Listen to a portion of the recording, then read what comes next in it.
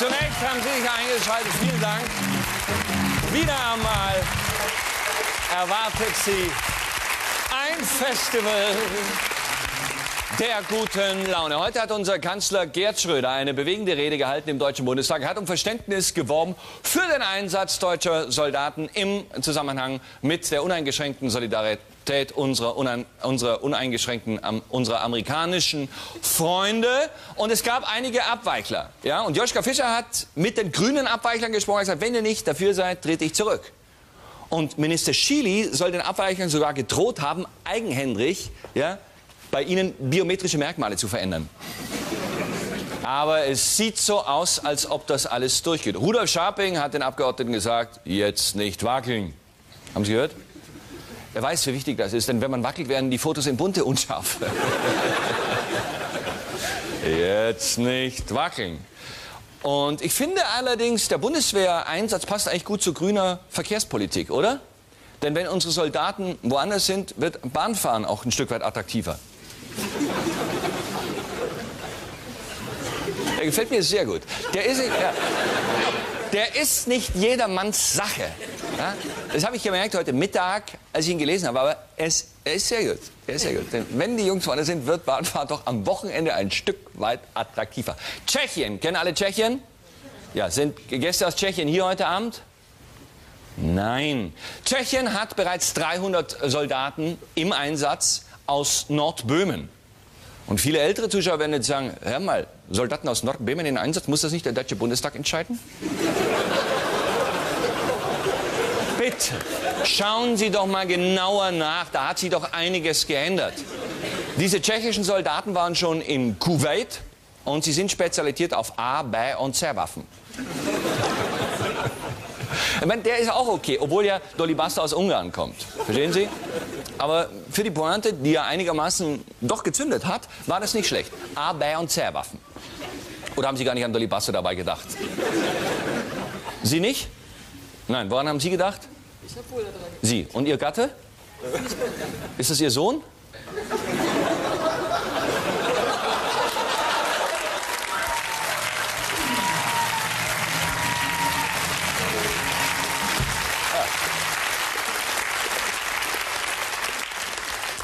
Heute begann in Köln welche große äh, Messe?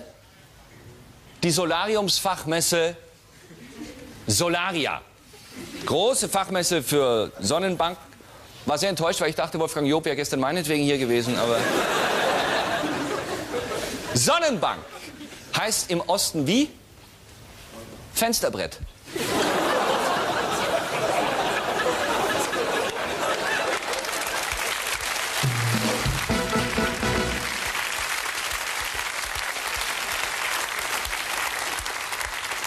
Und wie heißt es in Köln? Tuckentoaster. Helmut Salad and Electric Ladyland.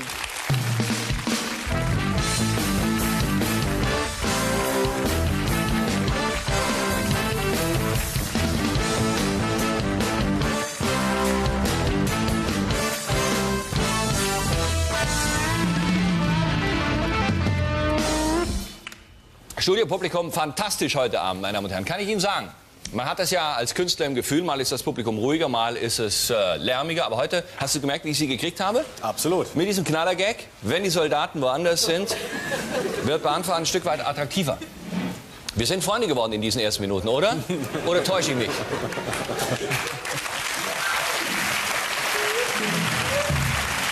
I'm dreaming. Heute Abend. Heute Abend, meine Damen und Herren, können Sie sich glücklich schätzen, dass Sie Karten haben, denn heute Abend ist ein großer seines Fachs in unserer Branche bei uns zu Gast, der nach neun Jahren demnächst wieder auf Tournee geht. Alles natürlich schon ausverkauft. Es gibt noch, glaube ich, zwei Karten in Wilhelmshaven und in Emden. Ja. 30 Städte auf Tournee ausverkauft. Bei uns heute Abend Happe Kerkeling.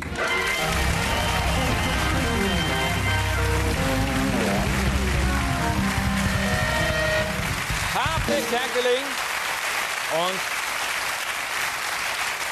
ein, äh, Ein Film von ihm ist im Kino gestartet, den er nur produziert hat. Er spielt nicht mit, er führt auch nicht Regie, aber er hat es produziert. Alles wegen Paul. Und äh, der Film spielt in Indien. Ja. Und er hat das letzte Mal schon erzählt. Dauernd kamen Anrufe, schick mehr Geld und so.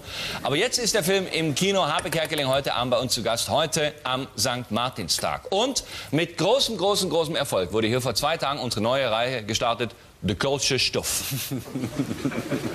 Sie werden sich erinnern, wir haben Marie-Louise Nikuta, die große Lady, die, die, die First Lady des Kölner Karnevals zu Hause besucht. Ein Riesenerfolg, dieser Beitrag. Und äh, das hat uns bestärkt in der Haltung, die ich einnehmen musste, die ich gegen das Team zum Teil durchkämpfen musste, mehr Kölsche Elemente in unserer Show. Ich liebe Köln. Köln ist meine, meine zweite Heimat geworden, eigentlich meine, meine eigentliche Heimat mittlerweile. Und ich möchte, dass Sie zu Hause mehr von dieser faszinierenden, pulsierenden, toleranten, modernen und, und trotzdem bodenständig gebliebenen Stadt äh, erfahren, so viel wie möglich. Und deswegen wird Herr Manuel Andrak heute Abend singen. Nämlich...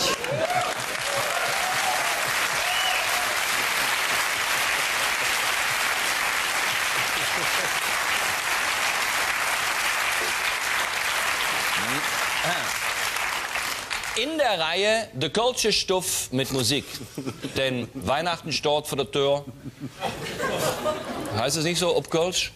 Steht vor der Tür? Es steht vor der Ports. Ports ist die Tür? Ports ist die Tür. Das haben wir nicht Stort?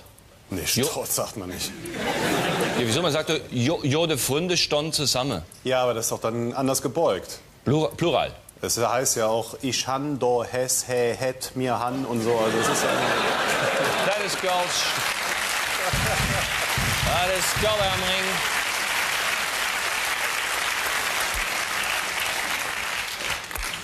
Der Hillige Zintemätes. Heißt es so? Der Hillige Zintemätes. Der heilige St. Martin, ein wirklich ein, ein Lied, das in Köln jedes Kindergartenkind kennt, volkstümlich, zu Herzen gehend. Herr Andrak, bitte. Okay. Also man geht dabei, ich weiß nicht, ob du das kennst, irgendwie von Haus zu Haus und äh, will Kamelle haben, also Bonbons. Ja. Ja. Die Kinder wollen also Süßigkeiten. Ja. Ist das dieser Spruch, Süßes, sonst gibt's Saures? Nee, das ist ja Halloween. Ach, das ist Halloween. Ja. ja. Das hat nichts mit Köln zu tun, das wurde uns von unseren amerikanischen Freunden aufgezwungen. Absolut. Ja? Ja. Halloween, nicht unser Fall. Nein. Wir haben gesagt, Halloween nicht mit uns, aber St. Martin. Heute Genau. mit Laterne. Mit Laterne schlägt man dann Ding Dong, ja, und Ja. dann wird gesungen. De Hilje sind de Mätes, dat war ne jode Mann. Er jof de Kinder Kätzes und storf sie selber an. Putz, putz, weder putz, dat war ne jode Mann. Hier wohnt ein reicher Mann, Ja. der uns was geben Ja. kann. Viel soll er geben, lange soll er leben. Äh, Lange selig soll er sterben, das Himmelreich erwerben. Lass uns nicht so lange stehen, denn wir müssen weitergehen, weitergehen.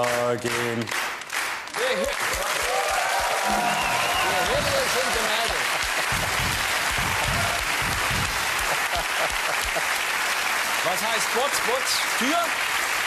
Botz, Botz, Botz, Wiedebotz? Botz, Botz, Botz, wieder Botz, das war eine Jode Mann. Was heißt Botz, Botz? Keine Ahnung.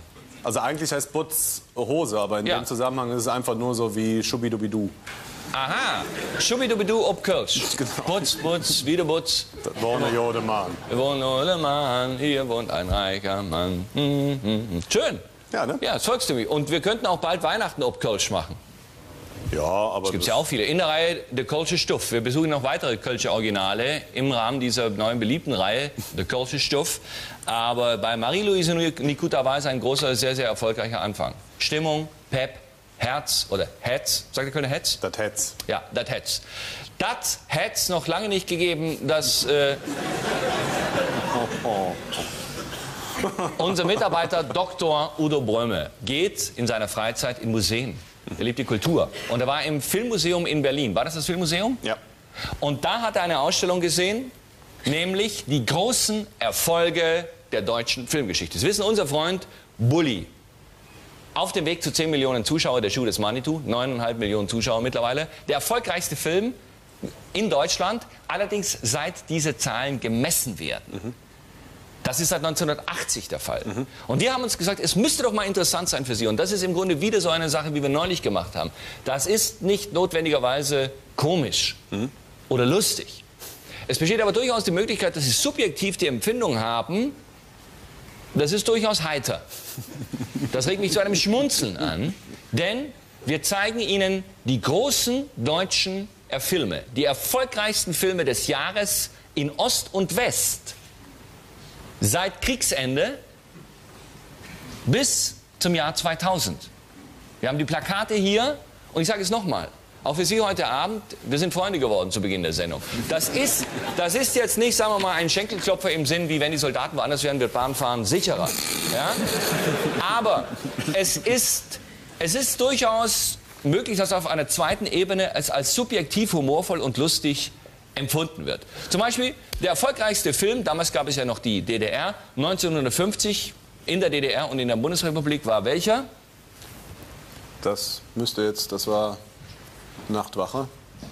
Welcher war denn da jetzt DDR und welcher war wir? Äh, West, West ist immer links und Ost ist ja rechts, klar. Ja.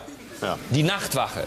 Also ich sage es nochmal, nicht notwendigerweise komisch im Sinn von, von brüllermäßig lustig, aber auf eine gewisse unterschwellig charmante Weise doch vielleicht zum Schmunzeln anregend. Vielleicht. Das hängt natürlich davon ab, wie Sie das empfinden. Ich habe hier ähm, die Unterlagen zu den jeweiligen Filmen, denn man möchte doch ein bisschen was über diesen Film wissen. Genau. Der erste religiöse deutsche Film, Die Nachtwache, mit René Deltgen, mit Käthe Haag, mit Luise Ulrich und eine musikalische Familien- und Liebeskomödie im Osten, Der Kahn der fröhlichen Leute, mit Petra Peters, mit Fritz Wagner, Paul Esser, Joachim Brennecke und Alfred Mark in der Regie von Hans Heinrich. Damals, 50er, 1950, da hatte man ja nichts. Genau. War das noch die Zeit, wo man Kohlen, Briketts ins Kino mitbringen musste? Na, es war eher Ende der 40er, oder? Ja, aber ich meine, die Ende der 40er ging ja eigentlich nahtlos in die 50er über. Da kamen ja viele noch mit Briketts ins Kino und dann hieß, Moment, wir haben die 50er. Man wurde eigentlich in den 50ern als Old Fashion entlarvt, wenn man mit Briketts vor dem Kino stand. Warum sagst du eigentlich Briketts und nicht Briketts? Wir haben Briketts gesagt, das ist glaube ich schwäbisch. Ach so. Heißt es Brikett? Brikett. Brikett. Brikett. Brikett. Wir haben Briketts gesagt. Bri sag ich Briketts? Oder Briketts? Du sagst Brikett. Ja, ich sage auch BH und nicht BH. Das ist Schwäbisch. Briketts. Wir hatten einen Bekannten, der hat die Briketts in Zeitungspapier eingewickelt und hat sie dann im Keller geschichtet, wenn er nach, nochmal runterging abends, um nachzulegen, damit er sich die Finger nicht schwarz gemacht hat. Und hat die mit so kleinen Schwänzchen eingedreht. Die Brikett, heißt es Brikett oder Brikett? Brikett. Brikett, Brikett. Brikett ja, und Briketts. Brikett, das hat auch mal Dr. Wedel gesagt. Das habe ich mal gelesen. Übrigens, jetzt kommt ja bald dieser neue äh, äh, tolle Semmeling-Mehrteiler von mhm. Dr. Wedel. Und beim Schattenmann, glaube ich, kam Mario Adolf zum Dreh und Dr. Wedel flippte aus und sagte, wieso hat Mario Adolf ein Brikett am Kopf? Und das war die Frisur. Da war so viel äh, Gel dran, dass er sagte, wieso hat Mario Adolf ein Brikett am Kopf? Und dieser, dieser Bekannte von uns, der hat die eingewickelt und Schwänzchen dran und die Schwänzchen mussten nach vorne zeigen. Und seine Frau hat es falsch rum eingepackt, da hat er es wieder ausgewickelt, nochmal eingepackt, korrekt gemacht, reingelegt. Ne, das ist kalt, ich lege ein Brikett auf, Keller runter. Gar nicht dumm. Mhm. Du fasst es ein, Zeitungspapier, hast nicht diese rußigen Hände. Brikett. Brick, Brick, Brick, Brikett. Briketts, Brikett. Oh, 1951, das ist ein Film. Das ist jetzt eigentlich schon mein Jahrzehnt. 57 geboren. Schwarzwaldmädel. Ja. Schau mal an, mit Sonja Ziemann und Rudolf Brack. Und das muss man sagen, Sonja Ziemann und Rudolf Brack, Sie, meine verehrten älteren Damen und Herren, das war ja eigentlich damals das Paar wie heute. Gibt eigentlich so ein Liebespaar gar nicht mehr. Bleibt treu Potente? Nein, nein, das war, das war sozusagen das ganz große Liebespaar der 50er. Sonja Ziemann und Rudolf Brack. Und hinten siehst du noch Paul Hörbiger, wie er so schmunzelnd, er hat immer so geschmunzelt, Paul Hörbiger. Also nicht, also wenn's, natürlich nur, wenn es zur Rolle gepasst hat. Aber Rudolf Brack mit dabei, und da passt es eigentlich, wenn ich so mache. Damals in Schwarzwaldmädel, erster bundesrepublikanischer Heimatfilm und erste Farbfilmproduktion nach dem Krieg. Effektvolle Ausstattung beim großen Publikumserfolg. Das schau her. Da passt dieser Ton, wo man so ins, ins Träumen gerät. Das war das Schwarzwaldmädel. Und ich habe mich gefragt, als ich das heute Mittag in der Vorbereitung gelesen habe, ob dieses Lied Mädle aus dem Schwarzen Wald aus dieser Operette kommt. Kennen Sie, kennen Sie das? Mädle aus dem schwarzen Wald, die sind nicht leicht zu haben. Nur ein Schwabe hat die Gabe, tralalala. Kennst du es nicht? Nein, kenne ich nicht. Aber mit Briketts um dich werfen. Ja.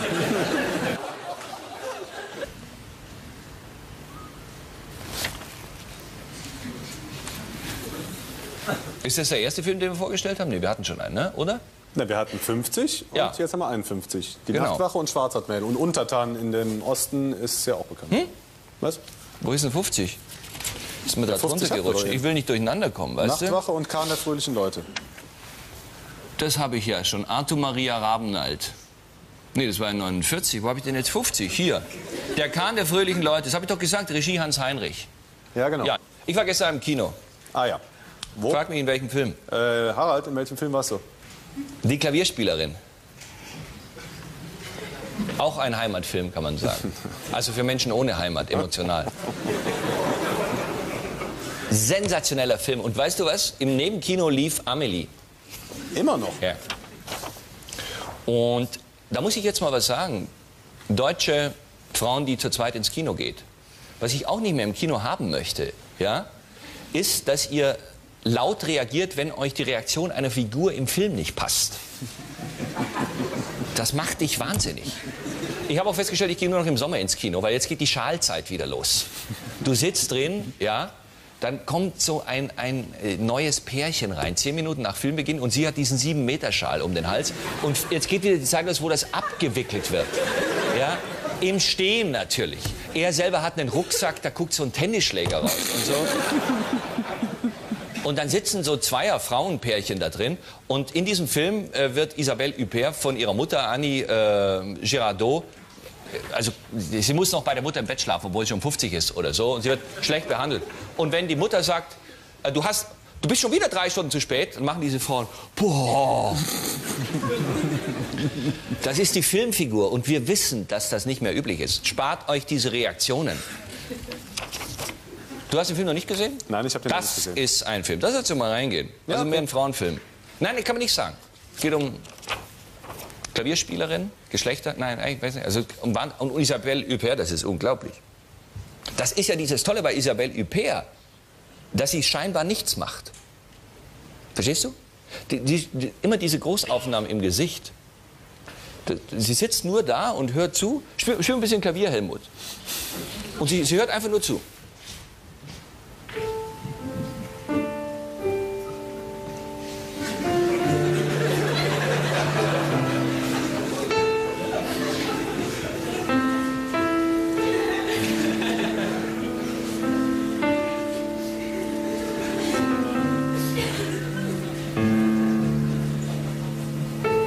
Mein Gesicht will man jetzt nicht so lange sehen, ja? Du machst das super. Aber bei Isabelle Huppert, die Vorgabe macht nichts. Sie macht nichts.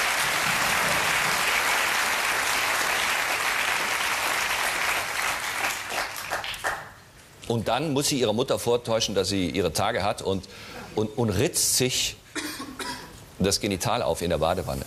Kann man das sehen oder wird es einfach rot? Es, es, es ist sehr gut gemacht. Es wird, äh, du siehst ja in der Badewanne sitzen, aber du siehst natürlich nicht. Wir sind ja nicht bei Pro7, wo Großaufnahmen dann noch gemacht werden. Äh, und da ging ein Mann raus. Echt? Der kam erst rein, als sie in der Kabine saß und an den Spermatüchern von den Männern gerochen hat, die vorher drin waren. Ja, das klingt jetzt verklemmt, Amelie würde das mal gut tun. Es ist nicht so voyeuristisch, wie ich schildere, weil es kommt aus der Figur. Und es ist eine geniale Szene drin, ja. Da geht Isabelle Huppert durch so ein Einkaufszentrum und wird angerempelt. Und erst Sekunden später macht sie... Aber das, da liegt eine ganze Zeit dazwischen, es ist kein Schnitt dazwischen, nichts, nichts dauernd dieses Schnitt, Gegenschnitt. Das ist jetzt Filmfachsprache. Wissen Sie, was Schnitt, Gegenschnitt ist? Können wir das mal zeigen, Kurti? Mit Herrn Antrag und mir Schnitt, Gegenschnitt? Ja, das ist Schnitt, Gegenschnitt. Das macht einen doch wahnsinnig, oder? In diesen deutschen Filmen dauernd immer der Rede kriegt ins Bild, oder? Der Einzige, der im Film nicht gezeigt wird, wäre eine Rede des Job, habe ich gestern festgestellt. Naja, manchmal schon. In einer Stimme dann. So. Keine Hektik. Jetzt kommt der Film Am Brunnen vor dem Tore. Das war der beste Film 1953. Und der kleine Muck. Der kleine Muck im Osten. Von, nach dem Märchen von Wilhelm Hauff. Mhm. Und welches Jahr soll man jetzt mal zeigen? Hier, Gefreiter Asch, Joachim Fuchsberger. Das ist ein toller Film, 0815. Welches ja. Jahr war das? Auch 54. Mit Blackie Fuchsberger. Mhm. Und äh, in der DDR der erfolgreichste Film Ernst Thälmann, Sohn seiner Klasse. Wer war Ernst Thälmann? So ein äh, Kommunist. Mhm. ja. 57, das ist schön. In dem Jahr, in dem ich äh, geboren wurde, war im Westen die Trapp-Familie und im Osten vergessen wir meine Traudel nicht. Mit der Mutter von Nina Hagen? Ja, Eva Maria Hagen. Ein Traum. Und Ruth Leuwerig, die immer gespielt hat, wenn Sonja Ziemann nicht konnte. Hans Holt und Josef Meinrad, der Unvergessene. Josef Meinrad. Das war 57. Haben Sie ein Jahr, was Sie mal gerne wissen möchten? 71. 71. Moment, das haben wir gleich. Ja.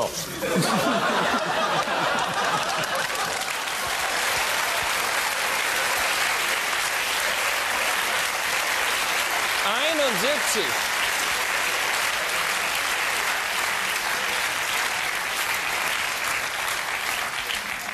Ist das Nastasia Kinski? Nein. Nein. Schulmädchenreport, der erfolgreichste Film. Und im Osten Oskiola.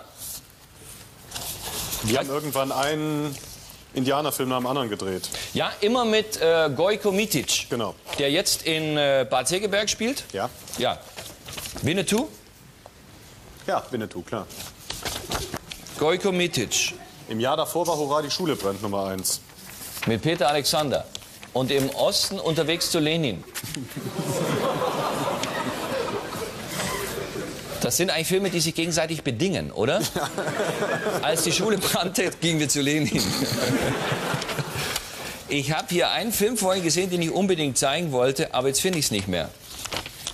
Gott schützt die Liebende 1974, Ulzana Ost, der unbesiegte Häuptling, auch schon wieder mit äh, äh, Gojan, Gojko Mitic, Gojko Mitic. Hier, 76, die verlorene Ehre der Katharina Blum. Das war damals ein Film, da sind wir reingegangen. Guck mal, mit Angela Winkler. Ja. Und Hostess im Osten. Worum geht es denn da? Probleme der Partnerschaftsbeziehung in einem Gegenwartsfilm. Interessante Thematik in Inszenierung und Aussage eher unbefriedigend. Sieht man die auch noch irgendwo? Diesen Film, Hostess? Nö. Jetzt zeigen wir mal 78. Hitler. Eine Karriere nach dem gleichnamigen Weltbestseller von Joachim Fest und sieben Sommersprossen. Mhm. Was war denn das für ein Film? Dramaturgisch zwar etwas holpriger, doch atmosphärisch stimmiger, von ungezwungenen Darstellern getragener Film, der die Probleme Jugendlicher einfühlsam und glaubhaft darstellt. Regie Hermann Tschoche. Nie gehört? Hermann Tschoche, 1980, schon wieder erfolgreich. Und nächstes Jahr am Balaton. Ah, jetzt habe ich dich. Was ist der Balaton? Ein See. Ja, und wie heißt der auf Deutsch? Ähm, äh, Plattensee? Oh, das hast du jetzt gehört. Nein, habe ich nicht gehört. der Plattensee. Ja, der Plattensee in Ungarn. Und Theo gegen den Rest der Welt mit äh, Marius Müller-Westernhagen. Hast du super den gesehen? Film. Ja, super ja? Film. Ich habe den leider nie gesehen. Echt nicht? Nee. Oh, der ist gut. Der, der soll toll sein. Ja, der ist super. Ich weiß auch nicht, wieso ich den versäumt habe. Nie gesehen. Tja. Dann 82 das Boot. Und Sonjas Rapport. Enttäuschende Verfilmung eines vielgelesenen Romans, der sich um Authentizität bemüht, aber weitgehend spannungs- und emotionslos bleibt. Sagt sich so leicht. Hm. Das ist aber so schnell dahingesagt. Eben. Das könnten auch Leute heute von der Show sagen.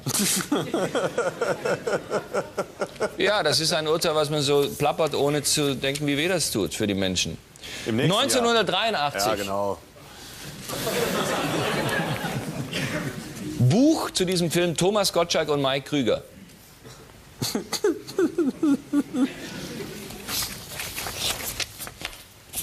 So, jetzt kommen wir schon ein bisschen in die Jetztzeit. Otto, der Film 85. Das war der erfolgreichste Film, bevor Bully kam. Ja, genau. 10 Millionen Zuschauer? 9? Nee, 8? 8,8. 8,8. Ja. Und dann 86 Männer. Jo. Sollte man auch nicht denken. Ist auch schon wieder 14 Jahre her. Da sind aber echt alle reingerannt. Ne? Da sind alle reingerannt. Ich Ja. auch. Ach, den hast du auch gesehen? Den habe ich gesehen, der war Ja. toll. Super war der. Der war spitze. Dann 87 schon wieder Otto. Der neue Film. Auch erfolgreichster. Und in der DDR Regie Franz Ankel, der den Film gemacht hat, wo wir neulich gesehen haben. Mit den zwei Zwillingspaaren. Johann Strauß, König ohne Krone. Dann 88 Ödipussy. 89 schon wieder Otto. Und Götz-George ein Film, Otto Sander und Ralf Hoppe, DEFA-Film, in der DDR gedreht. Ja. Und dann kam die Einheit und dann wurde es eigentlich filmisch immer mehr Werner. Was kam dann? Ödipussy. Nee, Papa an the Porters, wieder Otto. Das Geist, hast du den gesehen? Ja, oh, oh, oh. Nicht gut? Ja, ziemlich langweilig. Echt? Da wäre so toll. Mein Schauspieler. 94 und 95 der gleiche. 96? 96 Werner. Wieder Werner. Knocking on. Till. Das sind ja alles Filme mit Til Schweiger. Äh, Knocking ja. on Heaven's Door und, und der bewegte Mann. Ja, genau. Comedian Harmonist. Hast du gesehen? Ja. Gut, ne? Äh, ja. Hm. Nein, war nicht gut. Wieso war nicht gut? Ja, weil der langweilig war. Ja, das ist alles mit dabei. Ben Becker und, Ja. und äh, äh, Heino Ferch. Ja, eben. Dann Nochmal Werner? dreimal Werner in einem Jahrzehnt. Ganz genau. Und dann Dann äh, Anatomie. Anatomie. Wieso haben wir das nicht ganz? Weiß ich auch nicht. Wer ist das da hinten? Was meinst du mit Der Mann? hinten? Äh, Holger Speckhahn. Ist er bei Viva? Äh, der ist jetzt. Nee, nö, nö. Ich, äh, der ist, glaube ich, nirgendwo mehr, oder? Nein, er ist, glaube ich, bei Seit 1. Nein, da war der. Weggekauft. Ja, weggekauft, bestimmt. Ich habe das Gefühl, ich habe jetzt gar nicht alle Filme gemacht, oder? Nee. Haben welche weggelassen? Ja, in den Machen wir die 60ern. Äh, mal gucken. Nächstes Jahr. Also hier natürlich die ganzen erfolgreichen Indianerfilme, ne? Also Schatz im Winnetou. Silbersee, genau. Ist ja unglaublich. Winnetou erster Teil, also dann irgendwie Winnetou zweiter Teil. Also das waren so die ganzen erfolgreichen Filme in den 60ern. Mein Geburtsdatum zum Beispiel, 65. Das war voll die Winnetou-Zeit. Und Dr. Med Hiob Pretorius. Oh, Hans von Rühmann. Kurt Götz mit Heinz Rühmann. Ja. Der war auch mal noch erfolgreichster Film mit äh, der Hauptmann von Köpenick Ja, genau. und Lilo Pulver. War eine schöne Zeit im Kino, muss man sagen. Damals. Oh, und 67 war ein ganz scharfer Streifen. Bester Film, Angelique. Oh, Angelique. Das ist, äh, glaube ich, ziemlich frivol gewesen, dieser Film. Aus damaliger Sicht. Čikačkuk, das war auch Gojko Mitovic. Oder? Absolut. Ja, heißt es so? ja. Gojko Mitic. Gojko Mitic. Gojko Mitic. Der war eigentlich der Pierre Brice des Ostens. Ja. Er war im Grunde besser als Pierre Brice. Interessant ist, dass er vorher im Schatz der Silbersee und Winnetou, also in den ganzen westdeutschen Verfilmungen, auch schon mitgespielt hat. Ja. Da war immer der böse Comanche und der zweite hinter, Winnetou, äh, hinter Pierre Brice. Und dann hat er sich selbstständig gemacht und hat immer die Hauptrollen in den DDR-Western gespielt. Aber er war, er war wesentlich besser als Pierre Brice. Kennst du denn die ganzen Ossi-Filme? Nein, ich meine schauspielerisch, Ach so, glaube ich. ja, wahrscheinlich. Pierre Brice hat ja eigentlich schauspielerisch nichts drauf, oder? Nee, überhaupt nichts. Also ich meine, er ist ein, ein, eine Legende als Winnetou. Er ist der beste Winnetou aller Zeiten, aber er ist nur Winnetou. Egal, was er sonst übt, während gefilmt wird. Ja. Es ist wirklich immer Winnetou. Er ist, das ist wie, wie Jack Nicholson in Chinatown. Es wird nie mehr einen besseren Winnetou geben. Aber er ist kein Schauspieler. Egal, wo er sonst noch überall rumstand und, und deutschen Text probiert hat. Immer Winnetou. Aber er ist ein toller Mann als Winnetou. Ja, genau. Und ein wunderbarer Mensch. Ja. Aber kein Schauspieler. So, dann warten wir auf das Fax vom Anwalt. Und, äh,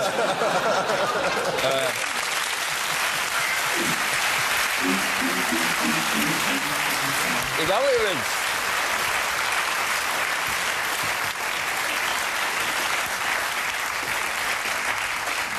Ich glaube übrigens, dass Pierre Brice und Marie-Louise Nikuta ein und dieselbe Person sind.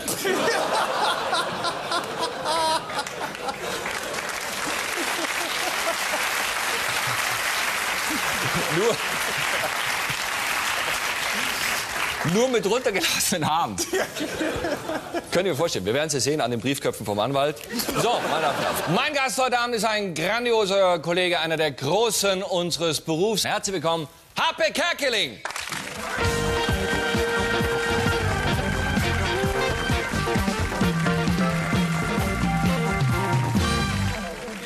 Happe. Schön. Abend.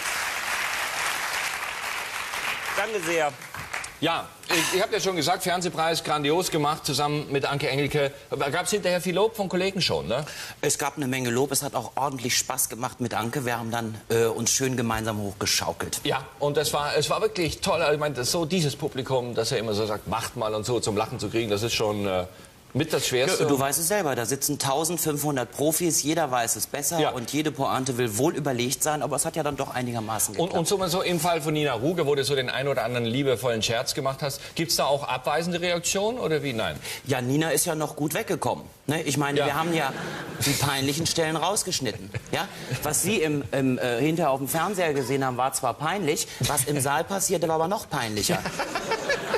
Ich weiß nicht, ob Sie sich erinnern, ich habe hier eine wirklich winzig kleine Rechenaufgabe gestellt, die wirklich Ja. jeder, ich sag mal, Idiot hätte lösen können. Ja. Und nein, so das, also ich meine, ihr habt ja eh schon eine Klage am Hals, da müsst ihr auch für aufkommen in dem Fall. Ähm, und ich habe ihr dann dreimal dieselbe Rechenaufgabe gestellt und es kam dann immer ein äh. Und ich wollte eigentlich, dass sie mit einem Mordsapplaus rausgeht, ging sie dann auch, den haben wir drunter geschnitten. Ja, diese Möglichkeit gibt es dann bei Das der ja Nachbearbeitung. Fernsehen, ja. ja. das ist richtig. Das ist richtig. Ja. Und äh, Tourneestart in Wilhelmshaven. Ja. Abergläubisch oder fängst du einfach äh, strikt nach Geografie im Norden Du, ich an? bin sowas von abergläubisch. Vor neun Jahren meine erste Tournee. Toi, toi, toi, Klopf auf Holz, Klopf überall hin. Also, die hat begonnen in Wilhelmshaven, war Ja. sehr erfolgreich und deshalb jetzt wieder Wilhelmshaven. Ausverkauft. Die Halle ist eigentlich schon, ist schon ziemlich voll. Die Halle ist eine schöne Halle in Wilhelmshaven. ist eine sehr schöne Halle. sehr Lässt schön. sich gut bespielen, hat Ja. eine schöne Akustik. Der Hausmeister ist sehr freundlich, ist ja auch immer wichtig. das ist sehr, sehr wichtig. Das ist wichtig. ja, natürlich. Man Ja. kommt als Künstler, wann ist man da in der Halle? 16 Uhr, 16.30 Nee, 19.30 bin ich da. Ach, geht die Veranstaltung los. Nein, ich bin auch um 16 Uhr da. Soundcheck, hast du viel Technik und so weiter? Ja, ich habe äh, äh, Riesenaufwand. Ich habe einen Techniker und einen Lichtmenschen. Ja. Und äh, Handmikro oder Anstecker oder hast du auch wie jetzt die jungen Kollegen, kann man ja mittlerweile sagen, diese, diese Headsets da? Nein, weißt du? ich habe es nicht. Ich bin vom alten Schlage. Ich brauche mein Handmikro. Jawohl. Ich komme mit diesen Dingern. Jawohl. Genau. Wie der alte Mit Heinz Kabel Schenkel, und- mit Kabel dran. Und es muss kompliziert Kommt sein. so Heidi-Kabel wir es. auch? Den konnte ich mir nicht entgehen lassen. Du? Oh, oh. Wo Songs? stehen geblieben? Ach, Songs. Ja, Songs habe ich natürlich gesungen? auch drin. Es wird natürlich gesungen. Ich weiß zwar, dass ich nicht singen kann, aber ich singe Doch, du gerne. kannst sehr, sehr gut singen. Komm, nee, jetzt untertreib mich. Nee, du kannst wirklich gut Jetzt, singen. jetzt, jetzt ist die Halle ja eh schon voll. Die Leute werden die Karten ja nicht mehr zurückgeben in dem Ja. Fall. Ich singe, ja. Ich singe Perlen. Perlen vom Grand Prix, vergessene Lieder. Ich weiß nicht, ob hier Grand Prix- Grand Prix-Fans sitzen. Einer sitzt da. Sonst irgendjemand noch Grand Prix-Liebhaber? Keiner. Da treffe ich ja eine Marktlücke in dem Fall. Also ich werde auf jeden Fall Grand Prix-Lieder singen. Ja. Weißt du zum Beispiel, lieber Harald, wer 1978 den 25. Platz belegt hat beim Grand Prix in Den Haag und nur zwei Punkte bekam aus Marokko? Das muss auf jeden Fall eine Nummer von Ralf Siegel gewesen sein. Nein, nicht? das war eine finnische Nummer von dem finnischen Ralf Siegeli, der sie geschrieben hat. Es klingt wie Ralf Siegel. Ja. Und dieses Lied werde ich dann dort zum Besten geben. Kannst du so einen kleinen ein... Ja, vielleicht versteht man es auch. vielleicht kannst du mir helfen, Helmut, wenn ich irgendwie, wenn ich so mache, vielleicht irgendwie einen Bassdrum-Schlag. Okay. Ja? Wie das Lied heißt, sage ich nicht, das erschließt sich ja aus dem Song. Hmm, hmm, hmm, hmm. Hyviä björteissä naustaullaitina pipinen. Bisschen schneller.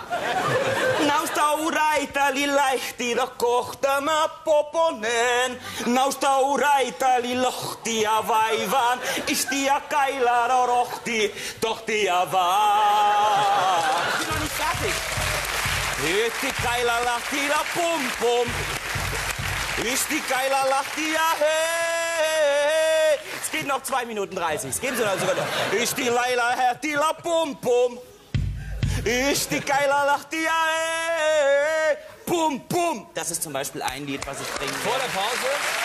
Als Kommt vor der Pause. Pause, ja. Das war wirklich sinnig. Das war wirklich sinnig. Erstaunlich, das ist richtig. Äh, Gibt es auch so eine kleine Reminiszenz an frühere Zeiten, so einen kleinen Honeyline-Block oder so, oder, oder gar nicht mehr? Zwei Sekunden Honeyline kommt und äh, Siegfried Schwebli ist natürlich Ja. wieder dabei. Ja, natürlich. Und dann geht's äh, also runter Wilhelmshaven, Emden, Papenburg auch, Äh, Papenburg, Kloppenburg, Fechter, Lingen. Lingen, nee, Goslar, ich weiß nicht, überall die ganze ist Ecke. Wunderbar. Das, also Schöne Hallen was auch. Schönes. Ja, es sind Ja, schöne ja. Hallen. Die Städte investieren da viel Geld in ihre Hallen, das muss man wirklich sagen. Aber nicht so viel in die Hausmeister, sollte man auch dazu sagen. Ja, und die Zufahrten sind teilweise nicht einfach zu finden. Diese Das ist großen, wahr, schweren, ja. grünen Eisen-Doppeltore, wo man dann steht und so, oder, oder wenn man an die Rampe ranfährt, man hat ja, unser eins hat ja kein LKW, wenn man mal unterwegs ist. Ne? Viele Kollegen haben ja ein Bühnenbild, weil sie weggehen vom reinen Nummernkabarett und komplette Stücke spielen. Aber du hast, siehst du dich um auf der Bühne mal so irgendwie so Perücke auf hab, oder so, das äh, schon. Ich habe einen Garderobenständer und zwei Jacken. Doch, dem Also Medienzeitalter. schon ein Riesenaufwand, Ja.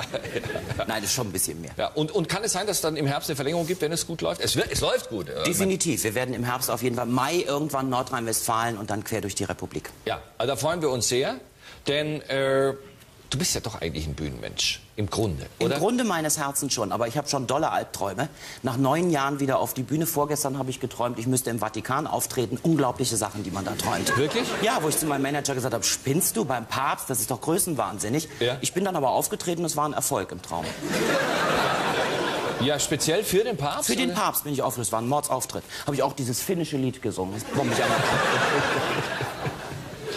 W- w- Willst du auch fürs Fernsehen aufzeichnen? Ja, schon, ne? Naja, erstmal. Ja, spielen. erstmal spielen. Nicht? Ja, das ist ja dieser Trick. Man muss es ja lange genug in den Sälen nur spielen, damit die Leute hinkommen. Wenn es im Fernsehen gelaufen ist, dann. So. Nein? Soll ja ein paar Jahre gehen. Ne? Natürlich. Man will ja, ist doch doch nicht wahr. alle fünf Jahre ein neues Programm schreiben, oder? Nee. Nun zu deinem Film, den du produziert hast. Alles wegen Paul, ja. Ja. Ein Roadmovie, eine Komödie und läuft jetzt irgendwie in 18 Städten in den nächsten Wochen an. Ist das ein sogenannter Independent-Film? Ist Independent-Film, ist mit wenig Geld produziert. Die Bild schrieb so schön, ein billiger Film, aber schön. Ne? Das ist doch eine gute Kritik. Ja. ja Fand da, ich. Nee, also das ist knapp und äh, ja, nichts Negatives. Nö. Äh, dieser Film wurde über weite Strecken in Indien gedreht oder komplett in Indien Komplett gedreht? in Indien gedreht. Es gab natürlich auch den einen oder anderen Ausfall. Ich habe in mehreren Interviews gesagt, dafür muss ich mich entschuldigen, dass der Kameramann Brechdurchfall hatte. Das hatte er nicht. Er hatte einen Kreislaufkollaps, damit das auch richtig gestellt ist. Ja. Also es gab schon den einen oder anderen Ausfall. Ja. Warst du vor Ort in Indien? Bin ich verrückt? Nee, nee. Das haben die. Nee, nee, nee. Das hatte ich dir ja schon mal erzählt. Ja, Ich habe genau. immer die Anrufe gekriegt. Ja, weißt ja. du? Als Produzent musste ja, muss man ja das bisschen Kohle, was da ist, zusammenhalten. Und dann rief dann immer so unser freundlicher indischer Co-Produzent an und sagte, Ja. Mr. Kettling, where is the money? Come on, send money. Dollars is everything is expensive and people want to eat, want to sleep. Und dann habe ich da wieder die Dollars rübergeschickt und dann haben wir dolle Quittungen gekriegt, die das Belege. Finanzamt gar nicht anerkennt. Ganz wunderbar. Jetzt muss ich mir einen vereidigten Dolmetscher nehmen für jede indische Currywurst, damit er rückübersetzt wird. Es ist ein Wahnsinn. Das gibt's ja Aber nicht. der Film ist schön geworden. Ja. Es hat sich gelohnt. Wir zeigen mal einen Ausschnitt und zwar ganz kurz. Max von Thun spielt einen Menschen, der in Indien lebt. Max von Thun Ja? spielt eine der Hauptrollen, Janet Rauch, Armin, äh, Uwe Rode, also sch sch gute Ja. Schauspieler. Und man- er hat, er hat äh, seine Schwester nach Indien gelockt, Ja, unter dem Vorwand, er sei verschollen. Richtig. Aber dürfen wir das verraten, was sie Nein, das dürfen wir nicht verraten. Das ist doch die Schlusspointe. Das ist die Schlusspointe. Ich hoffe, dass es jetzt nicht im Ausschnitt zu sehen ist. Ja, das will ich aber auch schwer hoffen, Ja. sonst brauchen sie gar nicht ins Kino zu Ja, gehen. Dann. sollte es im Ausschnitt zu sehen sein, stoppen wir sofort den Ausschnitt. Dann halten wir die Matze. Und ich zeige nochmal einen Film von 1973. ja? Alles wegen Paul, bitte.